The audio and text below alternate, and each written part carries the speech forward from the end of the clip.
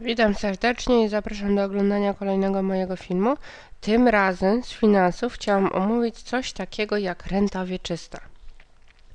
Renta wieczysta to jest jakaś stała płatność w tej samej wysokości i teoretycznie wypłacana w nieskończoność.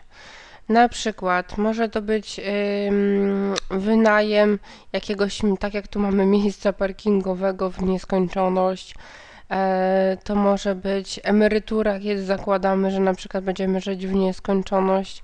E, takich powiedzmy przykładów teoretycznych możemy znaleźć niewiele, ale jako zagadnienie teoretyczne e, o stałej, jakby dożywotniej, nie, w nieskończoność lecącej płatności istnieje w finansach i warto sobie to omówić. Jeśli mamy zadanie o następującej treści – jaka jest wartość dochodowa miejsca parkingowego, jeżeli założymy, że przynosi ono właścicielowi roczne dochody w wysokości 700 zł i one są teoretycznie w nieskończonym okresie. To znaczy, że te e, miejsce parkingowe ani nigdy nie zostanie zlikwidowane, ani też nigdy e, wysokość tej, tego dochodu nie zmieni się i ciągle bez żadnej przerwy będzie wynosiła ta płatność 700 zł i mamy założyć, że roczna stopa procentowa jest niezmienna i wynosi 5%. Zadania niby jest takie dziwaczne, mało realne, ale e, dotyczy tak zwanych rent wieczystych, dożywotnich i je sobie omówimy. Jest to e, ciąg e, renta wieczysta, możemy ją nazwać, że to jest szereg płatności o jednakowej wysokości, to jest bardzo ważne, które są płacone regularnie, czyli cyklicznie, co miesiąc, co roku, co kwartał, przez nieskończoną liczbę okresów.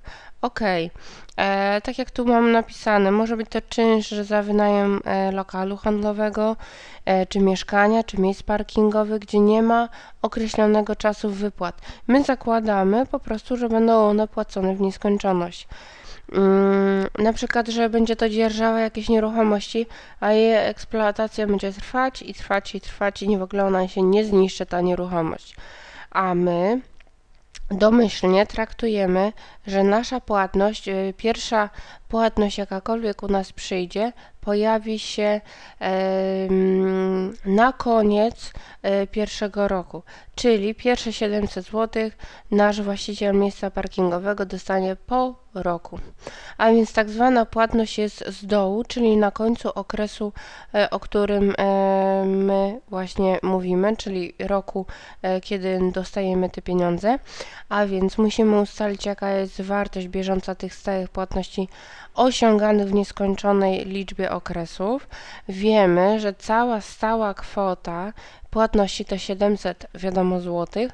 E, stopa oprocentowania e, rocznego to 5% i zaznaczam, że tutaj jak widzimy to po prostu tą stałą płatność trzeba podzielić przez stopę procentową roczną i to co wychodzi to jest wartość tego miejsca parkingowego. Domyślnie my nie bierzemy tutaj pod uwagę jeszcze podatku dochodowego. Rzadko kiedy, szczerze, w rentach spotykam się z przypadkiem podejmowania tematu podatku dochodowego.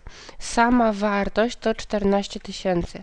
I wtedy trzeba napisać krótką prostą interpretację, że to miejsce parkingowe jest warte obecnie 14 tysięcy złotych.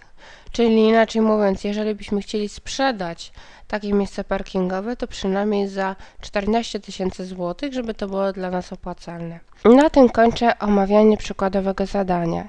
Jeśli to omówienie jest dla Was niewystarczające lub macie własną listę swoich zadań e, do opanowania, to zapraszam do nadsyłania maili wraz z załącznikami na adres mailowy zadania myślnik projekty małpawp.pl. Gdy będę miała taką możliwość, to na pewno odpiszę. Nie zostawiam maili bez odpowiedzi. Cały zakres materiału, jak i zasady współpracy ze mną są na stronie internetowej zadania myślnik projekty.pl. Kanał YouTube Plus Projekt jest tylko mojego autorstwa. Zapraszam do jego subskrybowania. Takie dodanie do listy subskrybowanych kanałów pozwoli innym studentom dowiedzieć się o jego istnieniu i możliwości korzystania z jego zasobów. Dla mnie osobiście będzie to dobra wiadomość, że filmy przeze mnie przygotowane uznajecie generalnie za przydatne i powinnam nagrywać kolejne. A pomysłów na kolejne filmy mam jeszcze wiele. Filmy możecie naturalnie oceniać.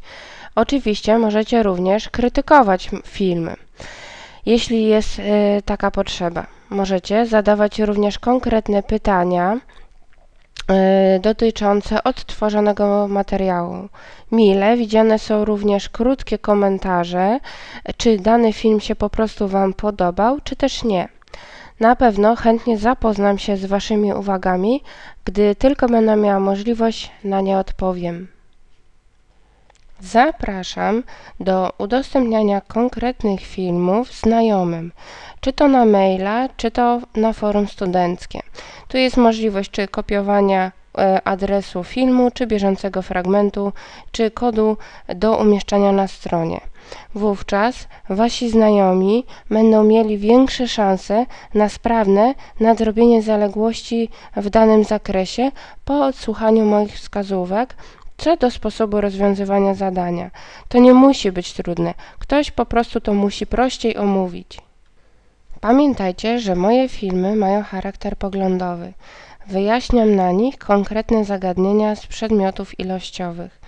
Dla Was najważniejsze pozostają notatki z ćwiczeń i z wykładów z Waszej uczelni. To wiedza ćwiczeniowców i wykładowców pozwoli Wam zdać najpierw kolokwium, a potem egzamin. Pamiętajcie, przeliczajcie zadania samodzielnie, ręcznie, te zadania z uczelni zgodnie z obowiązującymi na niej wzorami, bo tylko tym sposobem macie szansę na zaliczenie.